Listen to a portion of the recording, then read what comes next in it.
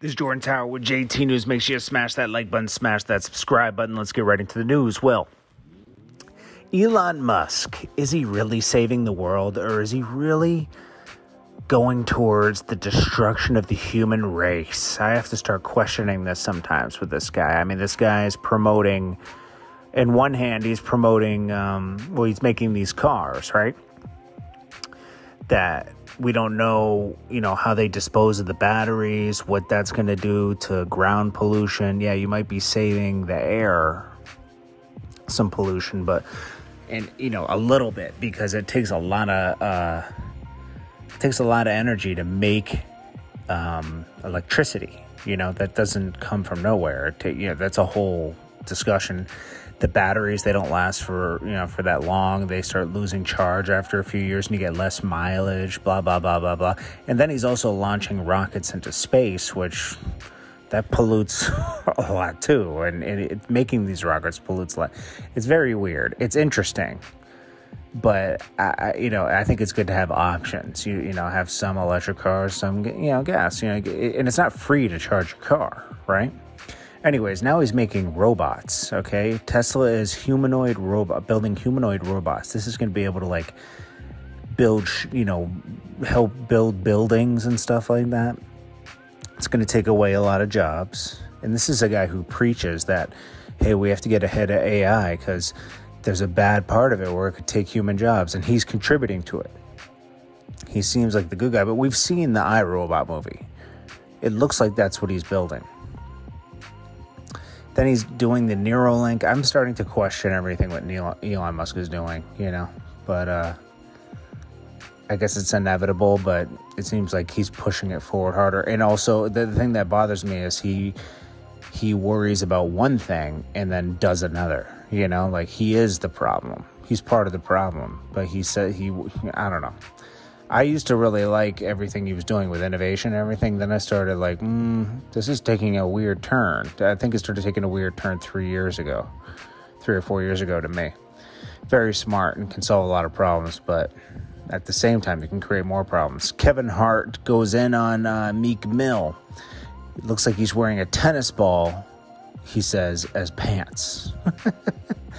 um, NBA Young Boy, it seems like he's dropping music soon and he's recording in jail. It's very interesting. His fans love him, man. They really support him. It's pretty good to see, you know, because I like it when someone can build a fan base that actually supports them. You know, that's that's good to see, and it shows that he's touching a lot of people. Uh, the Weeknd buys a seventy million dollar house. Jeez, I mean that is a lot of house for someone that's on the road all the time. And think about maintaining this. I mean, Rick Ross got his house for five million. It's bigger than this with a pool.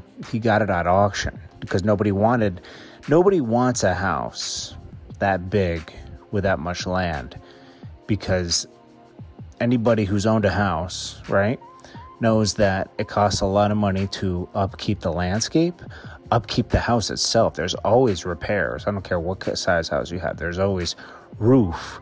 Uh, there's things break, pipes. Uh, you got to think about everything that can break. Even the the the gauges that let the the water out the faucet, those can break. I've had a house for a while now, and trust me, it's all it's constant, constant maintenance. And my house is newer on the newer side, and it's still just constant stuff that you can fix. Um, anyways, he's rich. He, I'm sure he can afford it. The house is definitely going to cost him like a couple hundred thousand a year to maintain, though. Then you got Suge Knight. Uh, Cam'ron remembers a time when Suge Knight pressed him. So, I think it's Cam'ron's second album or third album. He's he does the he samples he uses a Tupac beat that um, Daz Dillinger made, and Daz Dillinger actually came and remade it. So Suge Knight saw him at a party. He's like, "Hey, what's up, man?" And, you know, Cam'ron was talking to him. Then he's like, "Yo, you owe me some money." And he's like, uh, "For what?" And he's like, "For that Tupac beat." He's like, "Nah, I had Daz Dillinger remake it." He's like, "Nah, I want money off that." And then Cam'ron said, "Well, you ain't getting a dollar from it, so what's good?"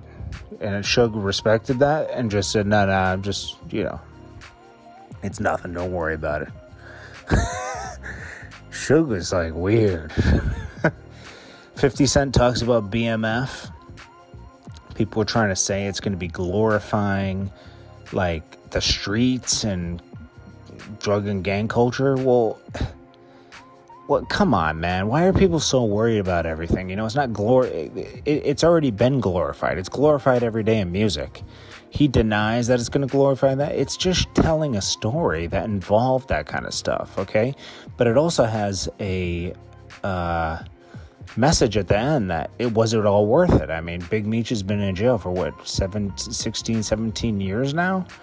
Was it worth it? Was it worth all those years of being on top and making money that way? And then it lands you in jail for, you know, he's supposed to be in jail to what, 2030 now?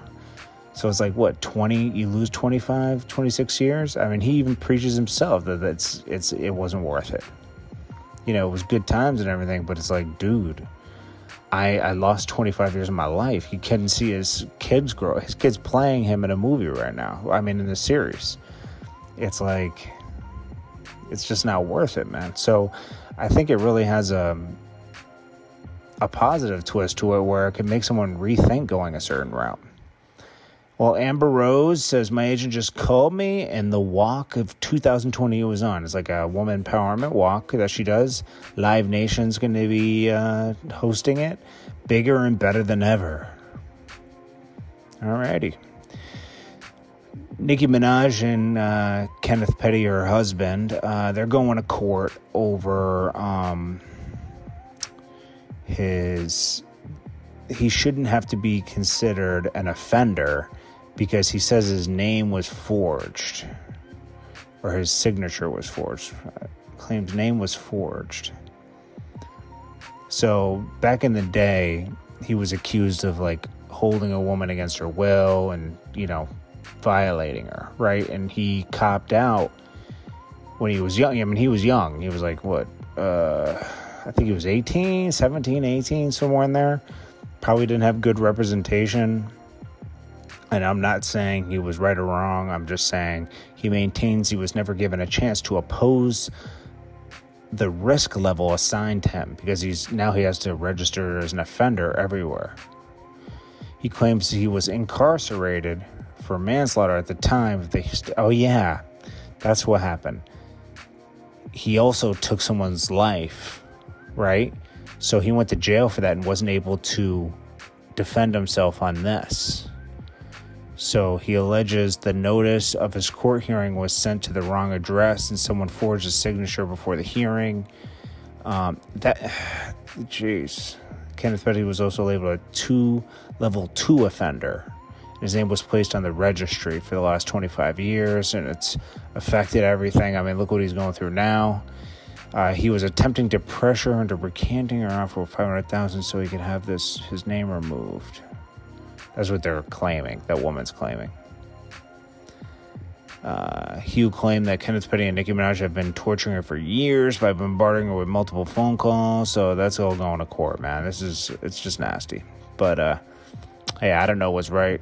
I don't know. I don't. I don't know who's right, who's wrong. I don't know. You know, we're just. I'm just telling you what's going on. Okay, I'm not taking a stance on anything because uh, this is just weird. The whole thing is just spooky. Um, let's see what else is going on out here. Pop Smoke, uh, a close someone uh, close to him said there's little to no music left according to his best friend. I mean that makes sense. And you know what? It's good they got it all out and we're able to capitalize off it because if they drop it like two or three years later i don't know if people will care. You know people move on after a while. Right now people will support it and it will generate enough money for his family to be okay. And that's probably what he wants more than anything, you know. Um, that's why he was doing it for himself and his family. Anyways, guys, that's basically what's going on this morning. I appreciate you guys for tuning in, supporting, smashing that like button, sharing. All that stuff's important. Make sure you guys leave comments below. I read all the comments. Uh, work hard today, stay positive, keep moving forward, and don't let anybody stop you or get in your path. And even if you're feeling down and the things are going aren't going right right now, make sure you just power through that because life has a way of just changing if you just keep giving it another chance and putting good energy out there and putting that work in, you know. Things can turn around faster than you think. I've been in bad situations and a few months of hard work can really make things to start changing for the better. And once they do, remember those hard times and keep your foot on the pedal, okay? Stay disciplined and keep working even when you don't want to work. You know, people like to have this balance between, you know, living life and work, but if you don't work, you don't have money, and without money, you can't live life. You can't have freedoms to say no to things and do what you want, you know? You gotta have, you gotta maintain that freedom. It's a freedom to have a job and make money. It's that's a freedom, you know, because without it, you're at other people's whim, man. It's just it's a it's not a good feeling to be relying on other on others. You want to be able to rely on yourself. All right, guys. Well, you guys have a great start to your day. I appreciate you so much, and I'll check you guys in the next one. Remember, it's gonna all be all right. It's all gonna work out. You just got to keep on going, keep moving forward, and making better choices. Right your wrongs. Realize where you made bad decisions and don't do it again. Don't keep loaning that person money that doesn't pay you back, and don't allow people to put you in a bad position. I'll check you guys later. Peace.